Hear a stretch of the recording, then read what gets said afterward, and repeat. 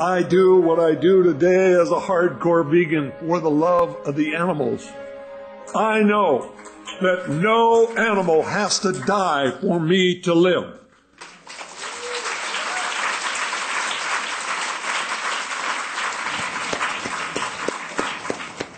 If we are going to survive as a species, we have to understand that our job is not to do everything.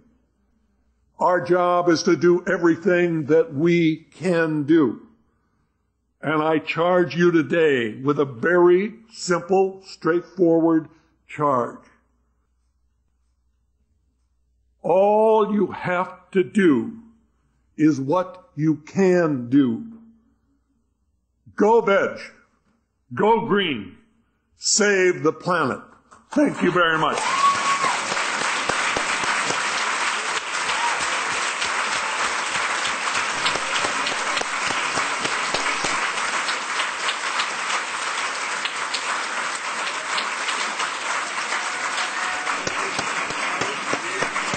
Thank you so much, Howard, for your insight, for this remarkable story. It's certainly been most informative and educational, and as you can imagine, some of the members in our audience right now have a few questions.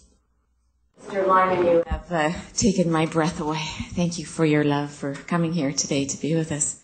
My name is Betska K. Burr. I am co-president of Coaching and Leadership International. We are the global leaders in mind, body, spirit, coach training. And I'm also the president of ecofootprint.com.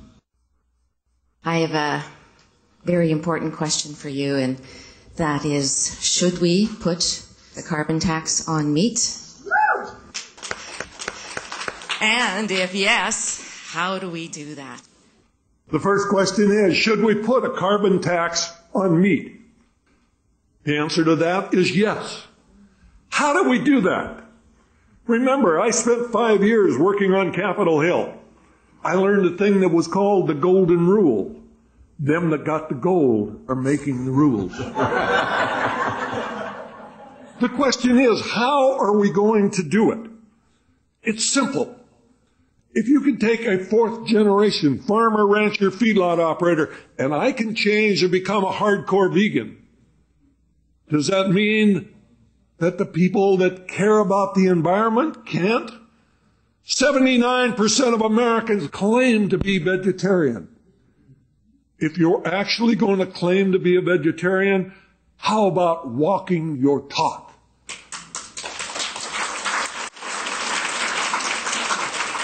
If we are going to change this, it is not going to happen in Washington, D.C.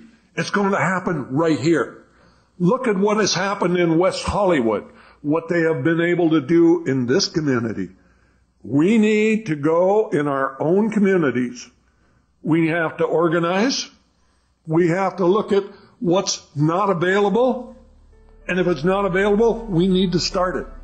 If there are changes that need to happen, we need to be the people that start the change. Our job is to become the leader so that when we look in the eyes of a child, we can basically say to him, I can't do everything, but I can do everything that I can do. And if we don't, there will not be a future for our children and grandchildren. Can we do it? Absolutely. When should we start? Right now.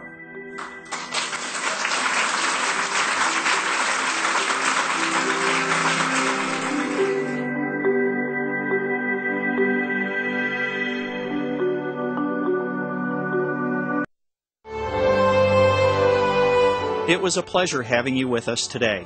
Part 3 of this rebroadcast of the live Climate Change International Conference with special guest Supreme Master Ching Hai will air on Wednesday, so please tune in. Up next is a journey through aesthetic realms right after noteworthy news here on Supreme Master Television. May you have a blissful life under God's grace.